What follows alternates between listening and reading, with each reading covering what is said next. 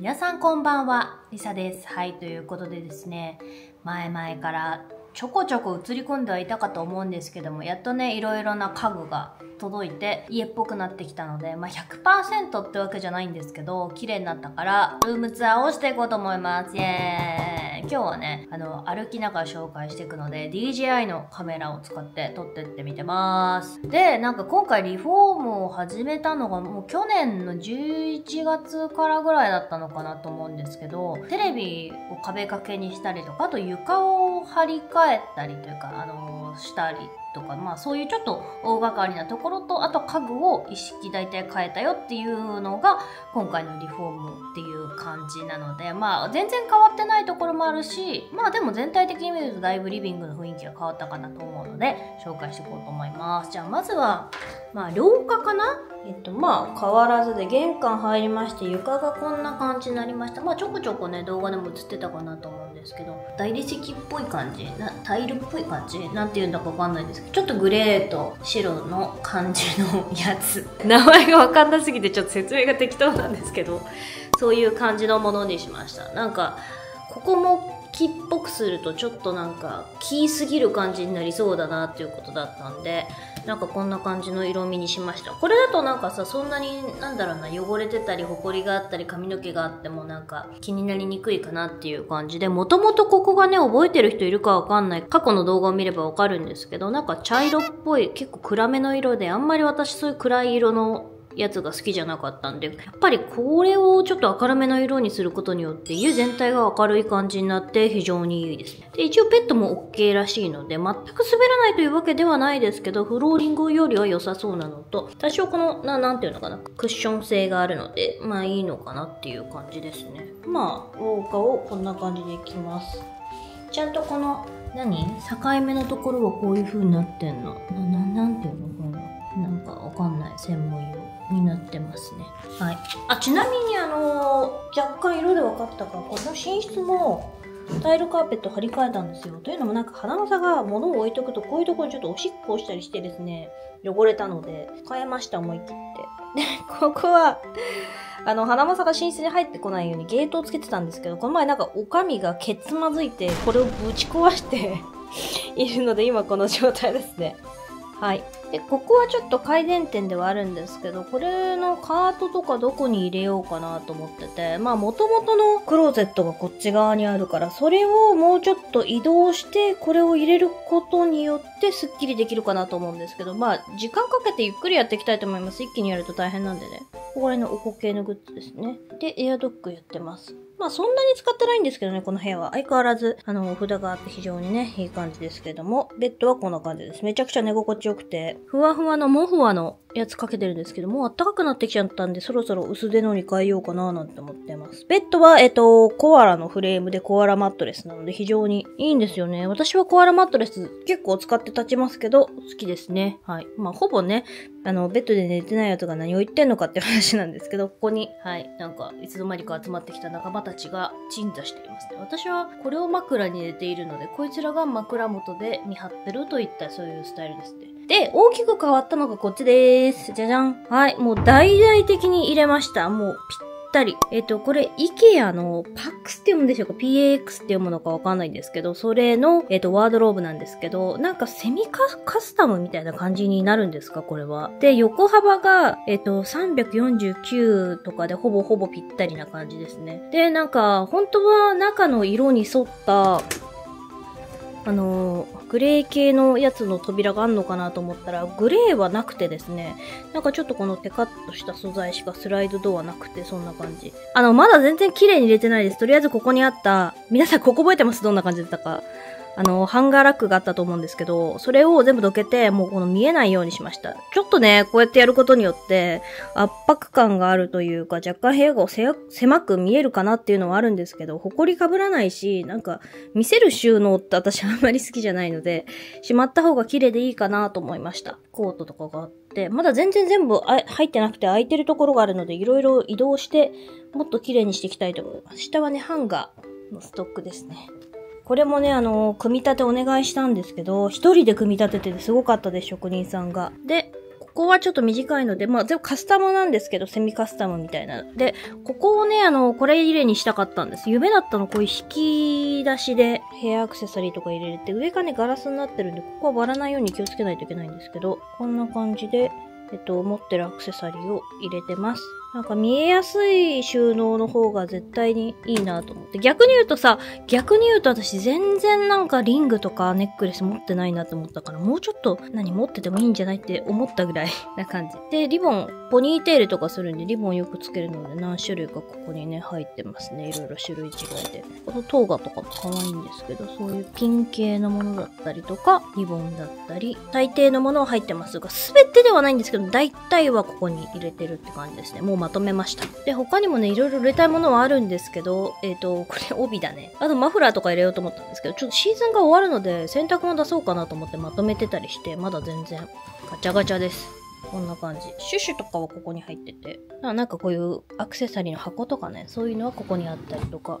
まあ、ここは、まだ何も入ってないですね。こんな感じで、隣はバッグ。バッグって見せたことあんまりなかったんですけど、そんなに持ってなくて私。バッグをそんな自慢するほど持ってないんですけど、一番立派なのが、あ、これじゃないな。入んなかったんだ。ケリー持ってるんですけど入んなかった。これはもう本当に、あの、清水の舞台から飛び降りる勢いで買ったディオールのレディディオールですね。で、奥が昔よく使ってたけど、最近あんま使ってないけど、軽いから非常にいいセリーヌのやつですとか、これはピコタン、昔に買いましたね。で、奥が、あれだ、えー、なんだっけ、トッツのチェイルの小バッグ。そんなに持ってないです。この色が結構合わせやすくてよく持ってる。これ鳥羽ですね。かわいいの。カフーね、カフね。とか、マルニ、あ、ディオール。このかわいい、ルドローだっけラドローだっけいつも読み方わかんなかった。とかもあるけど、そんなになんか。で、上は自分でオーダーして誕生日に買ったバレンティノの花正の似顔絵のバッグ。これもエルメスで薄くて軽いのでなんか物いっぱい入るから持ってます。なんか、カバンを選ぶ際に撮影したりとかすることもあるから、肩、肩掛けの紐があるもの結構選びがちです。ここ何？あー、みんなこういうのどうしてる？あの、詰め物とか袋とか。なんかそこら辺を入れようと思ったのかもしれないね。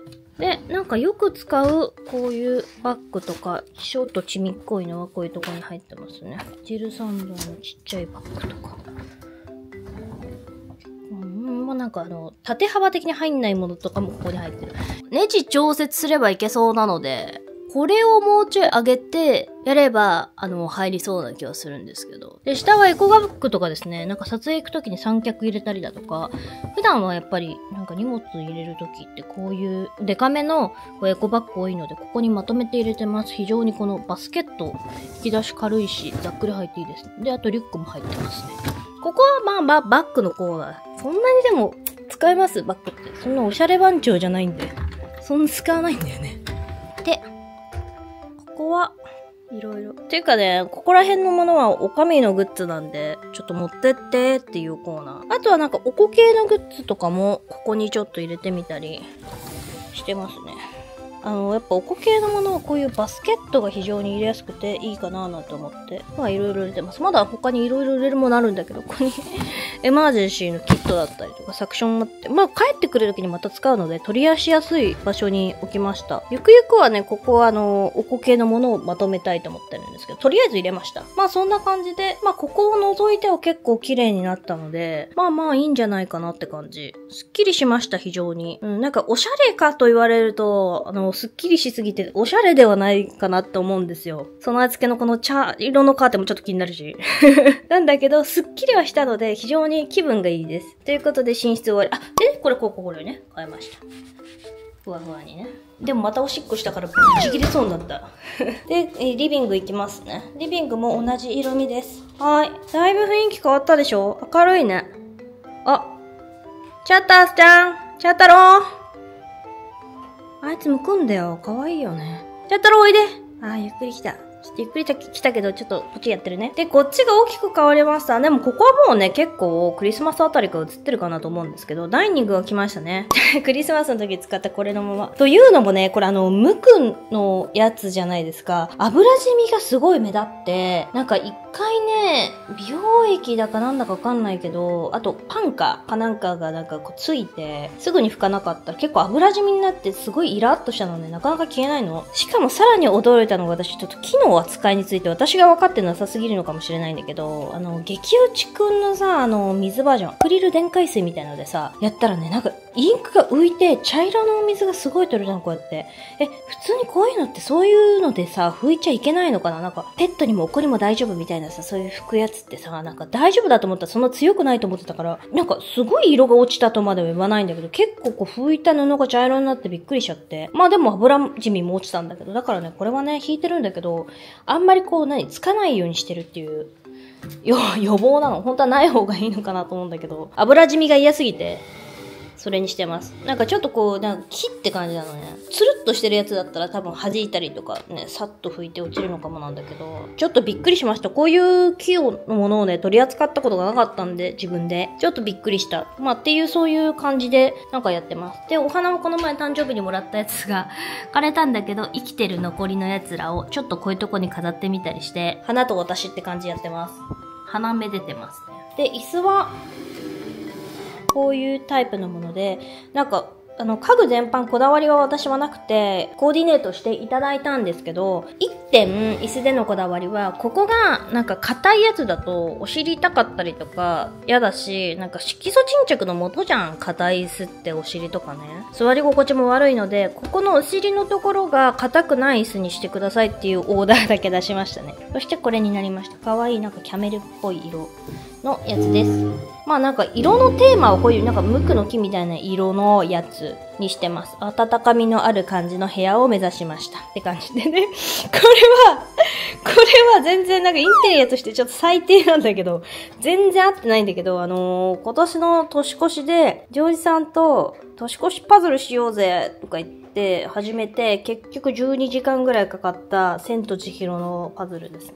置き場がなくてここに置かれてるんで、もう最低の世界観殺しなんですけど、まあ頑張ったんでこれ飾ってますね。これもなんか、最近はね、おしゃれなさ、木っぽいやつとかもあるから、そういう方が馴染むのかなと思うんだけども、ここにいるからもう、もういいやってなったやつですね。で、ここにあのー、ちょっと前から木とかなんかも来まして、旅人の木となんかのなんかみたいなやつが来てますね。で、プラの8だとあれなんで、最近の軍法のね、動画を見ていただくとあれなんですけど、テムで買ってみました。中がね、あの、ビニールみたいのが貼られてるんで、本当に入れるだけで、なんかちょっと雰囲気出るじゃんね。あんまり草を育てたことがないのでよくわからないんですけど、なんか今頑張って育ててみてます。一応ね、あの、元気に生きてますよ。なんかどんどん生まれてきて、こいつとか、こいつが新芽とか出てきて春って感じですよね。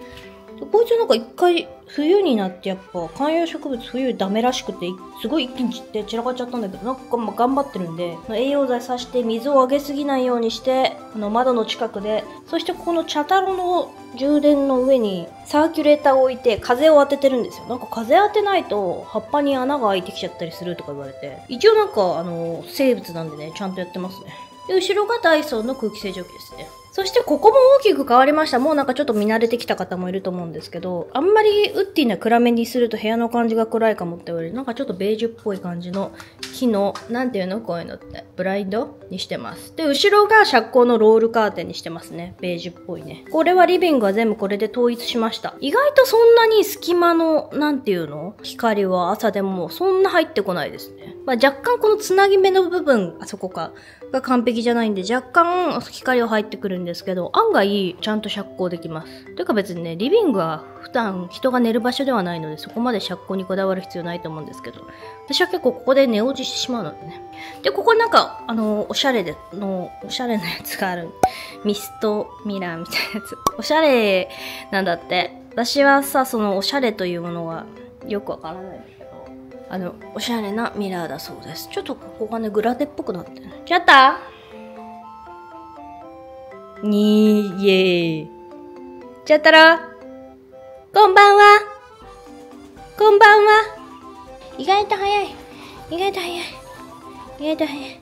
はい。で、あのー買っては見たものの配置がここで合ってるのかわからない石の机。なんかへこむから下にこれ置いたんだけど、置くとダサいね。パラパラと送られてきて組み立ててって感じなんで、配置がここで正しいかは後で確認しようと思って適当に置いたんで、配置が合ってるかどうかわかんないです。なのでセンスのない置き方になってたらごめんなさい。そして後ろは、スタンドライト。フロアライトっていうの。です。下もね、これ石っぽい感じでちょっと重いのね。で、ここで調節できるっていう。意外とこれあの、マックスでつけてると部屋明るいです、夜。夜ここの電気と、テレビの前のここの電気だけでつけてても全然明るいです。そして、あ、そうね、ここが結構変わったんじゃない？ここが結構変わってて、あのーこれも隠れるようになってるんですけど、これは何？あのー石じゃなくて、床とかに貼るようなタイルなんですよ、実は。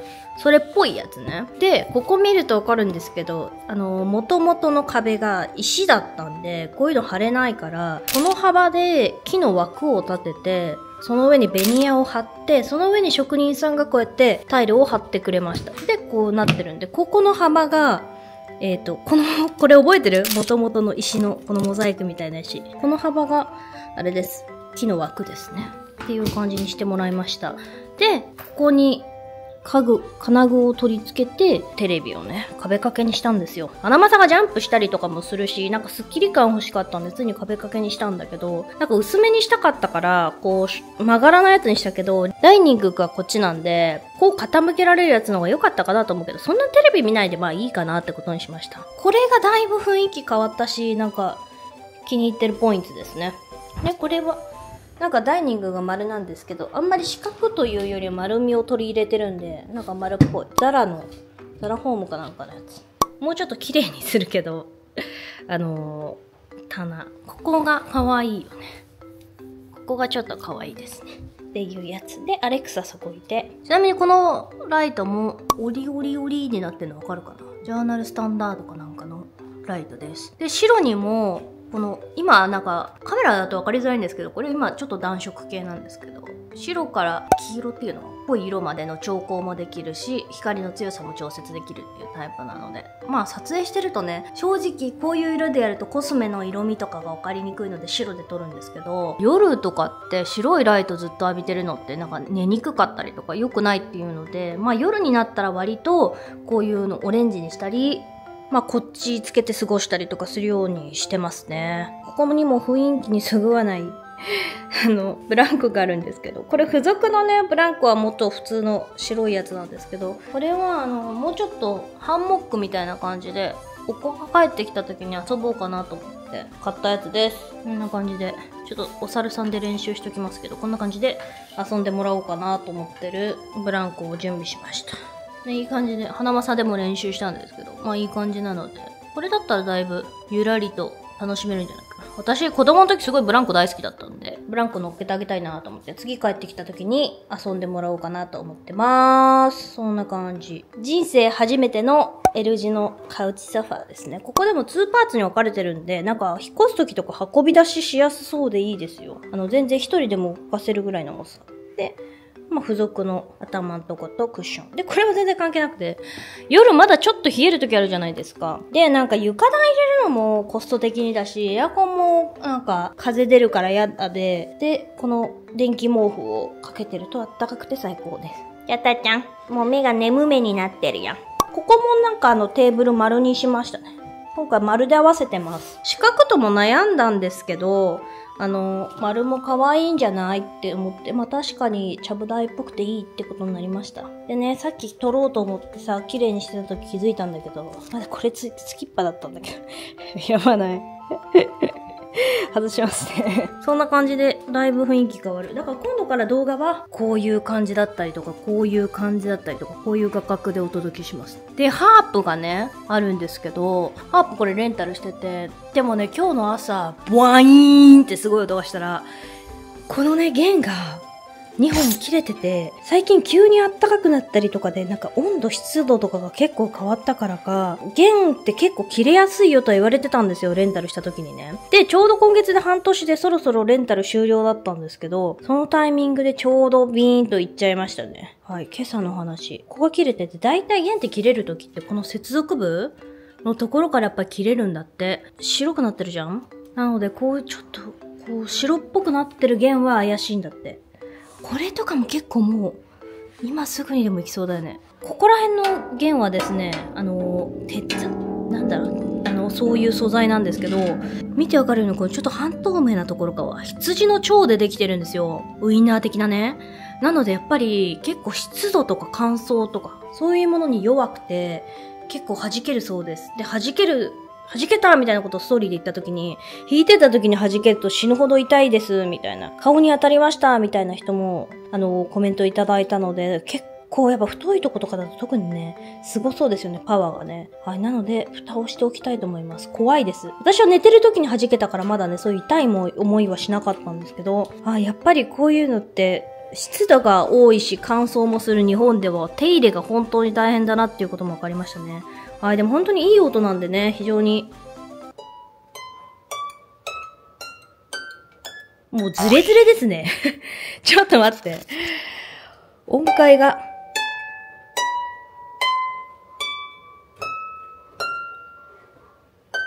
な、なにこの音。死じゃないな。ちょっと触らない間にずれちゃいましたね。ということで、ちょっと本当に悲しいんですけども。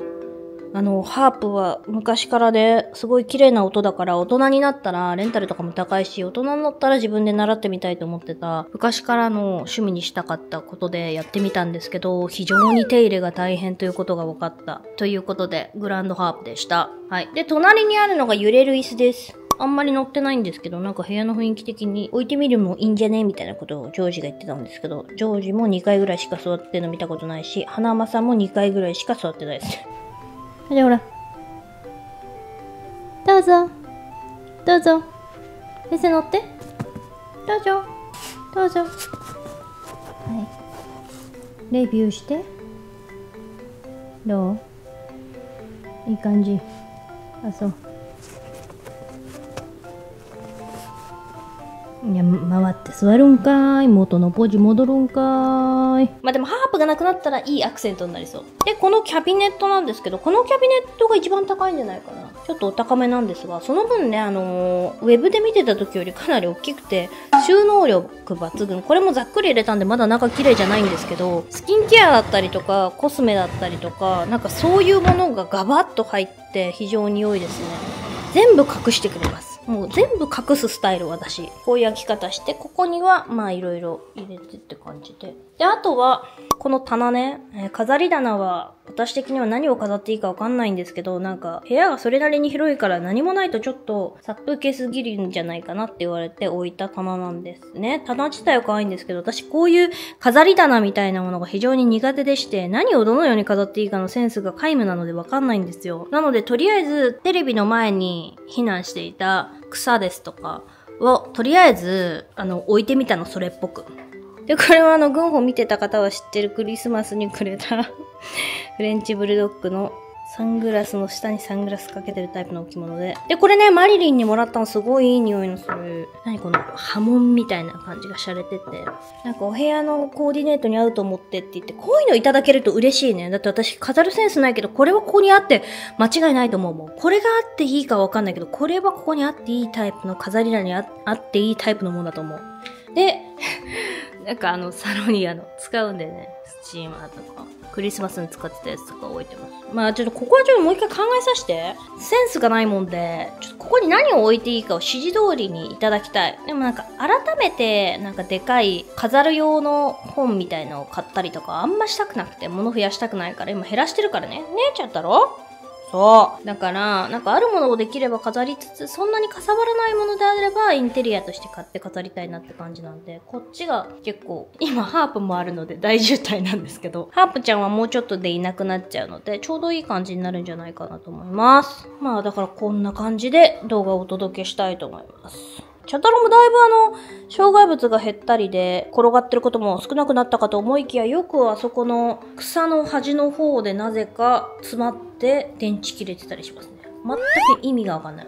はい。というわけで、こんな感じです。だいぶ部屋のイメージは変わったかなと思うんですけど、まあそんなに私すごいこだわりがあるわけじゃないんで、なんかテーマは何とかはないんですけど、なんかくつろげる家にしたかったなっていうのと、まあ、お子がちょこちょこ、2ヶ月に1回ぐらいかな、家に帰ってこれるようになったりして、その時にあの、私のお母さんだったりとか、お姉ちゃんだったりとか、そこら辺の方々がうちに来て会うよみたいな空間もあるので、みんなで言いやすい空間になったらいいなと思ったし、やっぱりダイニングができることで、ちゃんと座ってご飯食べるとかもなんかできるようになったからいいし、テーブルの上に油が飛ぶのが嫌なんで、なんかベージュっぽいレジャーシートみたいのを買って、それを引いて、あのホットプレートを置いて、あの鍋とかはなんとかしたりしましたね。木の机のツルツルじゃないやつの扱いって結構難しいんだなと思っちゃった。というかなんか結構明るい色だからそういうのが目立つのかもしれないんだけど、なんか今まで本当に家具ってさ、IKEA だったりニトリだったりとかしかほとんど買ったことなくて、まあ広いお家に住んだりとか長く住むお家に